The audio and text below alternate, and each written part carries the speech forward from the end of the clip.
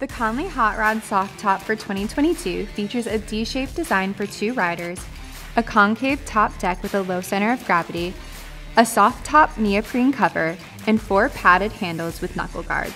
For more information, visit connellyskis.com.